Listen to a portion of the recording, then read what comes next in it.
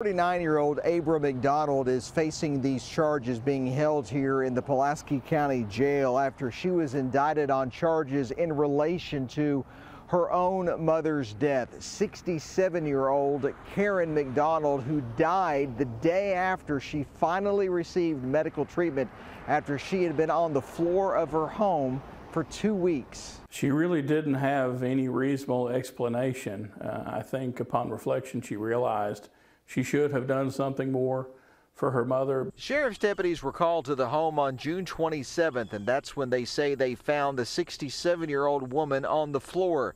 She was taken to Lake Cumberland Hospital where she died the next day. There were several contributing factors that were listed on the autopsy report and on the death certificate. Uh, the main cause was sepsis, uh, secondary to uh, some other causes, as well as substantial uh, neglect of her being left in the floor. A Pulaski County grand jury returned an indictment Friday, and McDonald will answer to the charges September 21st.